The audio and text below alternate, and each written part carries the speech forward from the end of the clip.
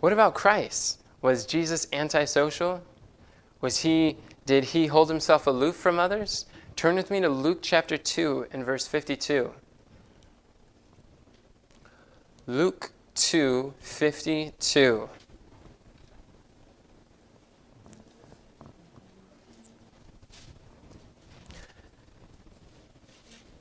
The scriptures say, and Jesus increased in wisdom, that's mental, and in stature, that's physical, and in favor with God, that's spiritual, and what?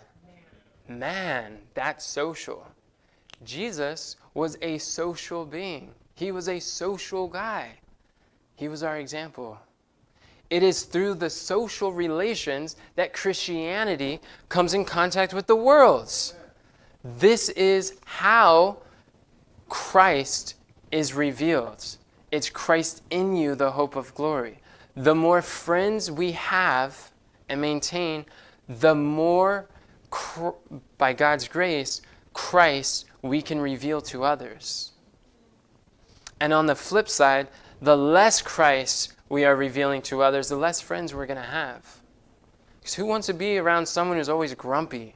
It's always talking about the faults and issues of others, who's always wanting to complain or talk about their, all these challenges that are taking place.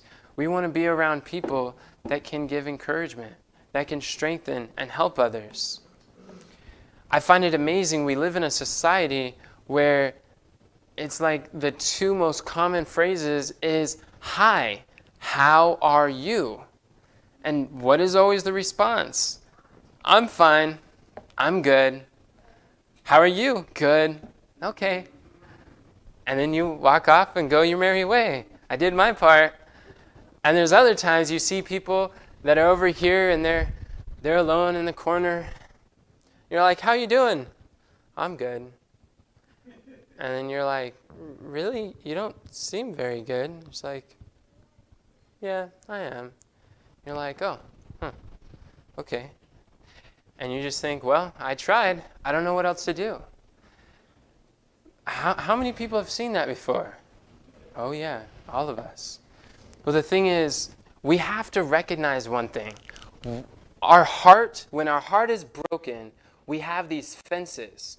And the purpose of a fence is to keep things out and keep things in.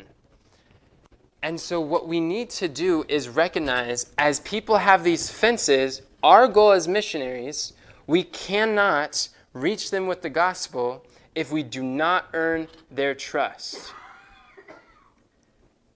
Trust is the key that opens the hearts of man.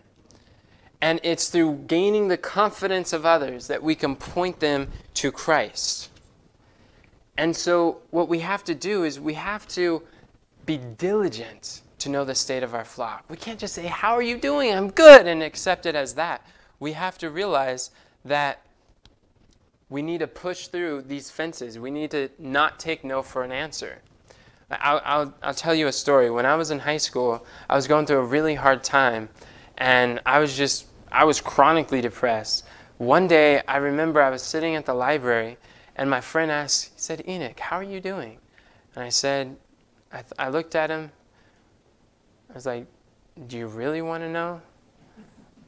And then his response was unlike anything I've ever heard before or after that time. And it really melted my heart. He said, Yes, I do want to know. I ask you because I'm your friend and I care about you. Enoch, how are you doing? And in my in my mind, I just my walls were coming down and he was getting through. And I was just thinking, wow, in that moment, this might be an opportunity. He might be someone that I can trust who I can actually have some hope or encouragement. And really, what a lot, a lot of people are doing is they're just waiting to see. When they say no, they're testing you. Do you really care? Or are you just asking the most famous question in, in our culture? Can I trust you? That's what they're trying to figure out. If you really cared, you would persevere. And when people ask, How are you doing? Oh, I'm good. And they walk away, they're like, The person's thinking, they knew I wasn't good. They don't care. They don't care about me. And it just reinforces Satan uses the opportunity to tempt the person to feel alone, isolated, discouraged, helpless, and that no one can relate.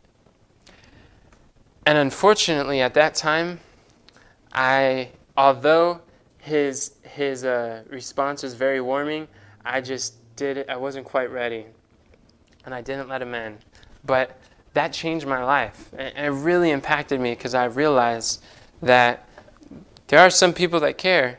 Um, and I realized too, going through that experience, I can say that I know when I'm, when I'm trying to encourage someone else, I know that just the first few no's I have to expect and I have to ignore. And I have to keep persevering by showing love. It's that that self-sacrificing love. It hurts to be rejected, doesn't it? but we got to persevere.